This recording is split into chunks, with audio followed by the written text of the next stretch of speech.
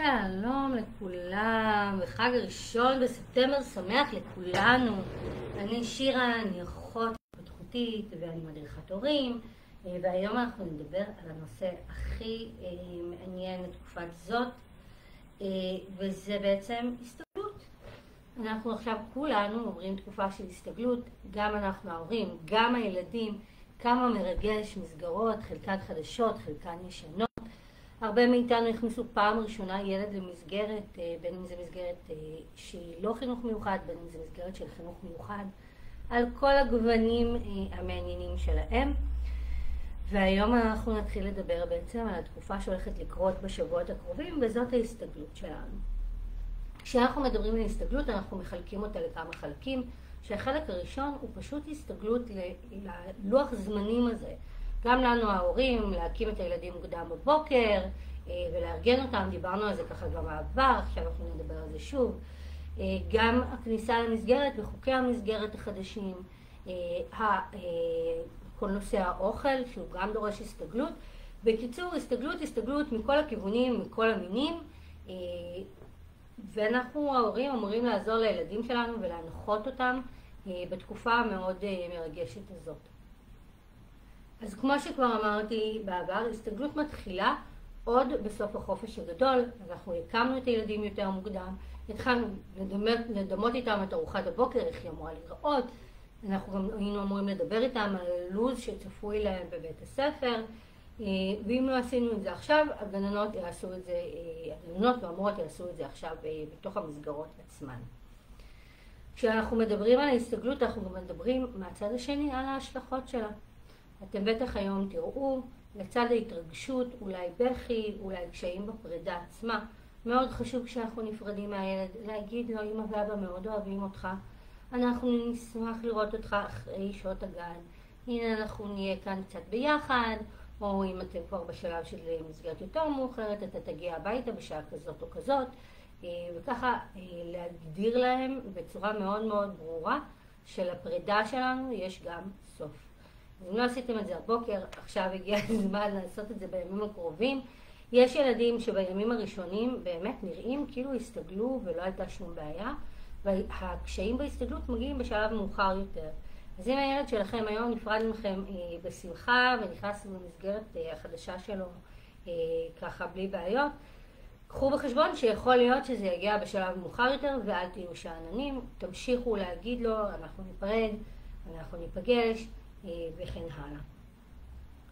אה, עוד משהו שאנחנו יכולים לראות בתקופת ההסתגלות באמת זה איזושהי נסיגה ביכולות של הילד, אם זה בשעות השינה שלו, אם זה בצורת ההזנה שלו, אם זה אה, בפספוסים, ותכף נדבר באמת על פספוסים, והבאתי לנו גם ספר נחמד שמדבר על פספוסים, וזה מאוד צפוי וזה נורמלי, אנחנו לא צריכים להתרגש מזה, זה משהו שילווה אותנו ככה בשבועות הקרובים.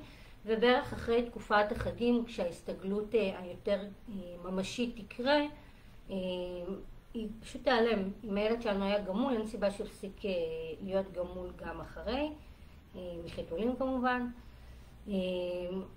פשוט עכשיו, בתקופת ההסתגלות, זה עוד יכול לחזור קצת אחורה ולעשות איזושהי רגרסיה, וזה דבר נורמלי לחלוטין, אין ממה לדאוג. אז כן היינו רוצים לנסות ולשמור עד כמה שניתן על השגרה של הילד בתוך אה, הלו"ז של בית הספר. אם אה, אתם מתקשים, אתם כמובן יכולים ליצור איתי קשר ואנחנו נראה איך אפשר לעזור. כמובן אפשר להיעזר גם במסגרות החינוכיות שמכירות את הילד שלכם יותר לעומק. אה, ומה שזה אומר זה באמת להקפיד שהילד אכן יקום בבוקר, זה מתחיל משם, וילך לישון בשעה סבירה בלילה. כשאנחנו מדברים על שעות השינה, מאוד חשוב להתייחס לגיל הילד ולמצבו הרפואי. ככל שהילד צעיר יותר, ככה שעת השינה אמורה להיות מוקדמת יותר. אה, ככל שהמצב הרפואי יותר מורכב, צריך יותר להתחשב אה, בשעות שינה. ובאמת מרכיב מאוד מאוד משמעותי זה שעת הקימה, שהיא צריכה להישאר קבועה גם במהלך סופי שבוע עד כמה, שנש... עד כמה שניתן, וגם שעת ההשכבה. אה, ובאמת ילדים שאנחנו רואים שהם הולכים לישון, קמים בשעות טובות ומתאימות בבוקר, ככה הבוקר שלהם מתחיל יותר טוב. חשוב מאוד לדאוג לארוחת בוקר, גם אם היא ארוחה שהיא חפיפניקית כזאת ומאוד מאוד, אה, ולא הכי הכי בריאה, עדיין יותר טובה מלא לאכול בכלל. מבחינתי, אם הילד שלכם לא רגיל לאכול ארוחת בוקר, ואנחנו הצלחנו לתת לו כוס של שוקו ואיזושהי עוגיה, זה עדיין יותר טוב מילד שלא יאכל שום דבר. כמובן שבריאותית זה לא בדיוק מה שהיינו רוצים, אבל זה בהחלט יספק אותם עד ארוחת העשר. ככל שארוחת הבוקר יותר משמעותית, ככה יהיה לילד יותר קל בשעות הראשונות של היום. וגם אם זה מאוד מאוד קשה, עדיף אפילו לקום רבע שעה קודם, או להכין איזושהי ארוחת בוקר אה, זריזה שתחכה לכם, אה, על מנת שאנחנו נקל עליו בעצם אה, בתחילת שגרת היום שלו. לארוז להם ארוחת עשר אם אתם במסגרת שעדיין צריך לארוז, אה, או אם אתם בהאזנה, לשאול את הגננת האם הוא אכל, אה, האם, אה, מה הוא אכל, האם הוא אכל, ובאמת לדבר איתם ככה לעומק על העניין הזה של מזון, כי אנחנו כן רואים קשיים באכילה סביב הסתגלות, ובאמת חשוב לא לפספס, כי זה מרכיב משמעותי, ככל שהוא יאכל טוב יותר ויסתגל יותר טוב לעניין הזה של אוכל, יהיה לנו קצת יותר קל עם ההסתגלות בגן. החלק שאולי הכי קשה לכולנו זה הנושא הרגשי. גם בגלל שהוא מאוד ווקאלי, זאת אומרת, אתם רואים את הילדים האלה נצמדים להורים, רוצים שירימו אותם, רוצים הרבה מגע, אנחנו רואים את הילדים אה, שככה מסרבים להיפרד מההורים למסגרת, או שמגיבים אה, בכל מיני תגובות סביב סוף היום. מאוד חשוב שאנחנו ההורים נשדר אל הילד רוגע אה, ושגרה. אנחנו קמים בבוקר, גם אם זה בבכי, לחבק, לנשק, להגיד שהכל בסדר, אני יודעת שזה קשה לך. אנחנו עכשיו לומדים אה, להיכנס מחדש למסגרת, וזה בסדר. ובכל זאת, לא לוותר להם על הליכה למסגרת. זה מאוד מאוד קל, גם אני ובעלי נכנענו לעניין הזה בעבר. אה, בימים הקשים, שהילד מאוד מאוד בוכה ומאוד לא רוצה ללכת, לא לשלוח למסגרת. שוב, הכל בהנחה כמובן שבמסגרת הכל תקין ולא קרה שם איזשהו מאורע חריג, אה, אבל שוב, כשאנחנו הולכים למסגרות האלה בהתחלה והכל נראה בסדר, הכל נראה תקין, כן להתעקש על שגרת הבוקר, כן להתעקש על כניסה למסגרת, ובמקביל לתאם עם הצוות החינוכי מה הם עושים בצד השני. אז יש מקומות שהגננת אומרת, אוקיי, אז שההורה ייכנס עם הילד, יהיה עם הילד חצי שעה, שעה, אה, ביום הראשון, השני, שלישי וכן הלאה, ולאט לאט אנחנו אה, נדלל ככה את הנוכחות של ההורה. ויש גננות שזה לא מתאים להן, שהן מעדיפות שההורה ייפרד אה, בשער מהילד. כך או כך זה בסדר, העיקר שאתם תהיו מתואמים עם הגננת, כי אין דבר יותר גרוע מילד שעומד עם ההורה שלו בשער של הגן או של הבית ספר, וההורה רוצה להיכנס וככה אומר לילד, כן, אני אכנס איתך, אנחנו נשחק ביחד, והגננת אומרת, סליחה, ממש לא, אני לא מכניסה אותך לפה, זה לא מקובל אצלנו בגן. פה שברתם לגננת את המילה, והגננת שברה לכם את המילה, וגם ריסקתם לו בדרך את תהליך ההסתגלות. אז אם אתם רואים שזה המצב עם הילד שלכם, תרימו לגננת או למורה טלפון על הבוקר, אה, או טלפון בערב, ותתאמו את העמדות, זה ממש ממש חשוב. ובהנחה ששרדנו את הימים הראשונים, ילדים שעכשיו סיימו תהליכי גמילה, וגם ילדים בוגרים יותר, אה, שכבר מזמן סיימו תהליכי אה, גמילה, אחד הדברים שאנחנו רואים, ושוב זה על רקע רגשי הרבה פעמים, זה את אותם פספוסים. ואני נתקלתי דרך הפייסבוק אגב בספר חמוד, הבאתי לכם אותו פה היום. הספר הזה מדבר באמת על פספוס. בספר הזה מתואר ילד שהוא בתהליכי גמילה, אה, והוא מפספס, אה, אה, הייתה לו יציאה ליד ההורים שלו ואת התגובה של ההורים. אני ככה אראה לכם קצת תמונות. מה שאהבתי בספר זה שהוא מתאר את כל התהליך של מזון מהרגע שאנחנו מרגישים רעב ועד הרגע שהצואה יוצאת והסיטואציה שבה היא יוצאת וככה עושה איזשהו תהליך של נרמול של כל הדברים האלו, של כל התהליך הזה שאנחנו ככה הרבה פעמים לא מדברים עליו, קצת משקיטים אותו. אה, הספר נכתב מנקודת מבטו של הילד. הוא מאוד מאוד עמוס במלל, לחלק מהילדים זה פחות יתאים, ואז מה שאפשר לעשות זה להתעלם קצת מהמלל ורק אה, להראות את התמונות ולתקצר את המלל למשפטים פשוטים. אני גם תכף אדגים אה, על העמוד הראשון, אוקיי, אז אתם קצת רואים שבאמת קצת עמוס במלל, רגע, אני אעשה ככה, ככה. אה, אז נגיד בעמוד הזה, מספיק להגיד לילד, אם הילד שלנו עדיין מתקשה בקריאה, אני אקרב את ככה למסך שתראו. הוא ככה מציג את הדמויות, אז אם אני לא רוצה להשתמש בשמות, אז אנחנו יכולים א', להשתמש בשמות של הילד עצמו, אה, וב', כמובן אה, לפשט את זה.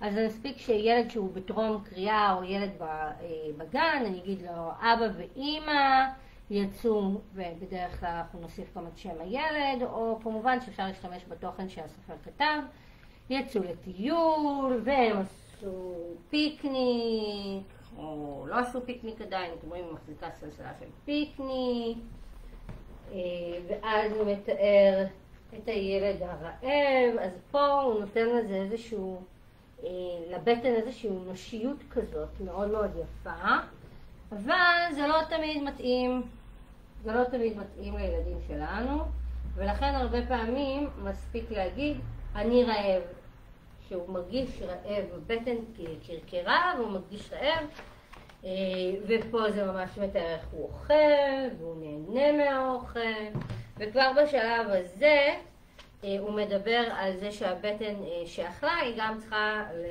גם צריכה להתפנות. בסדר, אתם יכולים ככה לתקצר את כל התהליך הזה למלל הרבה הרבה יותר פשוט. כמובן ילד שהוא מסוגל להכיל את המלל הארוך אז הסיפור הוא מאוד משעשע, הוא כתוב מאוד יפה. מה שכן, אה, לפעמים צריך לקרוא אותו יותר מפעם אחת, כי המסרים כתובים פה בצורה מאוד עיתולית. אני לא בטוחה שכל הילדים אה, על הרצף הצליחו לקלוט אותם. כמובן שאם נפשט אותם, אה, אז יהיה הרבה יותר ברור. ופה מתאר על זה שהוא ככה נעשה עייף, ושהבטן רואים אותה ככה מלאה. קצת קשה לעשות את זה במראה. ושההורים כבר מתארגנים לחזור הביתה, ושהם הולכים לעשות אמבטיה, ככה עושה הקדמה למה שהולך לקרות. אז הוא גם מדבר בעצם על התהליך הנורמלי של שגרת ערב. הנה, אכלנו ועכשיו אנחנו נעשה אמבטיה, והוא כבר מדבר על מה אימא שלו חושבת. זה נגיד אה, דף שאני לא בטוחה שילד יכול אה, שילד על הרצף יבין אותו. אני גם לא יודעת כמה ילד שאינו על הרצף יבין אותו, אבל אני יכולה לקחת את אותו דף ולהגיד שהנה אימא ואבא הלכו הביתה, ואימא חושבת מתי, אה, מתי הילד אה, אה, יצטרך להתפנות, וכאן אפשר לראות את האבא משחק עם הילד ולפני אמבטיה, זאת אומרת ממש מתארת שגרת הערב, ומבחינתי זה ממש ממש טוב, כי זה מה שאפשר גם להיעזר לזה בשגרת ערב. ובאמת הרבה, אה, תכף אני אראה כמה עמודים, באמת אחד מהפספוסים הרבה פעמים קורה סביב שגרת הערב. אנחנו רואים ילדים שהם כבר מאוד עייפים והשליטה שלהם בגוף ככה יורדת, ואז באמת יש יותר פספוסים. וממש הם מתארים את שגרת האמבטיה, אה, וזה מאוד יפה. שהמים נעימים, הופכים את האמבטיה למקום מאוד רגוע ונעים. ואז קורה אה, איזשהו תהליך שאימא מדגדגת את הילד והילד מספר שהבטן שלו אה, כבר ממש מרגישה שהוא צריך להתפנות והופ, יש לנו פה פספוס. אז אני חייבת להגיד שברוב הספרים לא רואים אה, ממש ילד עושה יציאה ומה שנחמד בזה זה שילדים שיש להם קושי בהבנת תהליכים וילדים שיש להם אה, קושי לפענח סיטואציות, כשהסיטואציה היא לא גלויה, כמו פה בספר, שממש אפשר ממש לראות את, את הצואה יוצאת מהטוסיק של הילד. אה, זה קצת קשה להסביר להם מה קרה. אנחנו בדרך כלל כשאנחנו מעבירים ילד תהליך, אנחנו ממש אה, בעזרת תמונות מייצרים סיטואציה סימבולית. ואנחנו מאוד נמנעים משום מה אה, לדבר על שתן ועל צואה אה, ולהראות אותם. זה קצת מקשה על ילד שלא מבין ולא מצליח לפענח סיטואציה, אה, ללמוד באמת איך עושים שתן וצואה, ולכן חשוב מאוד לסמל גם את זה כשאנחנו מדברים על תהליכי גמילה. והם עשו את זה בספר, אמנם הם עשו את זה ככה בצורה נורא עיתולית, אני אשאיר גם לינק לספר ולסופר. כמובן, שוב, המלל פה הוא לא בהכרח המלל שאני אגיד בעל פה לילד, אני אמצא את הדרך, ילדים, שוב, זה נורא תלוי ביכולות שלהם. ככל שהילד יותר גבוה, יותר מבין, נגיד עם האמצעי שלנו, אני קראתי את הסיפור כמו שהוא. Uh, הקטן שלי עדיין לא ורבלי בשום צורה, uh, ואני זוכרת את ההתמודדות מול הילד הבכור שלנו, בערך גם סביב גיל 5-6, הוא לא היה מסוגל לקרוא את המלל, אבל הוא בכלל היה מסוגל להסתכל על התמונות, ואם הייתי אה, מדברת את המלל אה, בצורה יותר מופשטת, זה היה מאוד מתאים לו. אה, שוב, בגלל האיורים, אה, בגלל התוכן, שהוא ככה מאוד מאוד בנוי. עכשיו, מה שיפה בספר זה שמראים פה את האמא צוחקת. האמא לא צוחקת על הילד, היא צוחקת בתוך הסיטואציה. זה הופך את הסיטואציה למשהו שהוא חיובי ולא שלילי. עכשיו, מן הסתם, אנחנו לא רוצים שילד אה, יעשה אה, יציאות באמבטיה. זה לא משהו שהוא רצוי. אבל מצד שני, אנחנו גם רוצים לשמור על הנפש שלו אה, ולהגן עליו מפני התחושה שהוא עשה משהו לא בסדר. אה, למה? כי אחד הדברים שאנחנו נראה אצל ילדים, שאנחנו נעשה להם נו נו נו כל פעם שהם אה, פספסו, זה אה, ממש הפרעות במתן שתן וצואה. אנחנו ממש יכולים לגרום נזק לילד. אה, וזה ממש חשוב, זו פעם ראשונה שאנחנו ממש רואים בספר, אה, ויכול להיות שיש עוד כאלו, אבל אני, אני פשוט לא מכירה, שמדבר ממש על האקט הזה של פספוס בצורה חיובית. אה, וזה חשוב להשתמש פה במילים חיוביות ולא שליליות. לדוגמה, המילה לא נורא, היא לא מילה חיובית. או, אבל לעומת זאת המילה יהיה בסדר היא מילה חיובית. או עכשיו אנחנו מתמודדים ביחד, היה לך פספוס? בוא נתמודד ביחד.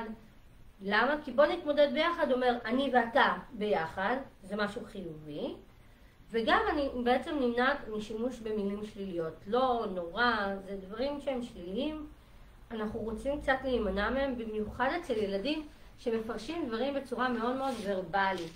ילד שמפרש משהו בצורה מאוד מאוד ורבלית, כשאני אומרת לו צוות המילים לא נורא, אז הוא מבין שהיה כאן משהו שלילי, לא, ונורא. ילדים על הרצף הרבה פעמים לא מבינים סמנטיקה, אה, ולכן הבחירה שלנו במילים היא משמעותית. עכשיו פה הם כן מדברים על זה שהזמן לא היה נכון, אני לא בטוחה ששוב אה, זה אה, הדרך הטובה להגיד, אולי אה, הוא הגיע מוקדם מדי, שהוא לא, לא הספקנו להגיע לשירותים, והם שוב, מדברים פה על כמה זה היה מצחיק ומשעשע, ואני חייבת להגיד שהסיטואציה הזאת באמת יכולה להיות מאוד משעשעת, וכמובן שהם מסיימים פה את הסיפור עם זה שהילד מגיע לשבת על האסלה, והם אומרים, בפעם הבאה ערוץ לשירותים וישב על האסלה, להיות בשירותים זה כיף וזה נפלא, אה, וככה באמת מסתיים הסיפור. אז שוב, הספר, בגלל האיורים הנהדרים שלו, והתוכן שהוא באמת משעשע ומצחיק, אה, הוא נהדר, בעיניי לפחות. אה, אני חושבת שכן יהיה צורך בהתאמות, בעיקר בכמות מלל לאותם ילדים שקצת יותר קשה להם להבין סיפור. קצת יותר קשה להם לקרוא. לעומת זאת, אני קראתי את זה לבן השש שלנו, אה, הוא ילד בתפקוד יחסית גבוה, ולא היה לי שום בעיה לקרוא את המלל כמו שהוא, והוא הבין את המסר, אה, וזה היה באמת ספר נפלא, מאוד שישע אותו. אני וההורים שלי ישבנו בסלון, קראנו את הסיפור מספר פעמים והתגלגלנו מצחוק. הסיטואציה הזאת, אני חושבת, מוכרת לכל הורה אה, באשר הוא. אין ילד שלא עבר פספוסים, ילד שלא חווה את המשבר הזה. ואנחנו עכשיו באמת בתקופה שאפילו אה, אפשר לצפות שזה מה שיקרה, אה, שיהיה פספוס אחד או שניים, אה, במיוחד לאותם ילדים שהגמילה ככה היא יחסית קרובה אליהם. אז כדי לסכם, אנחנו עוברים עכשיו לתקופת ההסתגלות, היא תימשך כמה שבועות, היא תלך ותשתפר השנה אצל חגי תשרי יחסית מאוחר, במידה ושוב לא יהיה שום שביתות, מה שאומר שיש לנו בערך שלושה שבועות עד שיתחילו חגי תשרי. אה, אולי אפילו קצת פחות.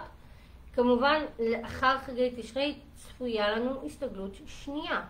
אה, היא תהיה סביר להניח קצרה יותר, כי הילדים כבר חוו את המסגרת, במיוחד אם זו מסגרת חדשה. ילדים שבמהלך אה, חלק מהחופשים יש קייטנות, אז זה גם יצמצם את זה, אבל ההסתגלות תימשך למעשה עד אחרי חגי תשרי, ואולי שבוע או שבועיים אחריהם, וזה נורמלי וזה בסדר ואין לכם ממה לדאוג. תהיו בקשר טוב עם הצוות החינוכי, דברו איתם על קשיי ההסתגלות, הם הכלי עזר הכי טוב שלכם. צפו בחשבון רגרסיות, צפו בחשבון קשיים באכילה, פספוסים, דברו על הדברים האלה. תנסו ולהנעים אותם כמה שיותר. תמיכה רגשית לילדים מאוד מאוד חשוב, וכמובן לעצמנו. אין הורה שנהנה מסאגת בוקר בכניסה לדלת, בטח ובטח שלא אני. זהו, אז אני מאחלת לכולם חג ראשון בספטמבר שמח. אין מאושרת ממני שהוא סוף סוף הגיע, ואנחנו נתראה בשבוע הבא. להתראות.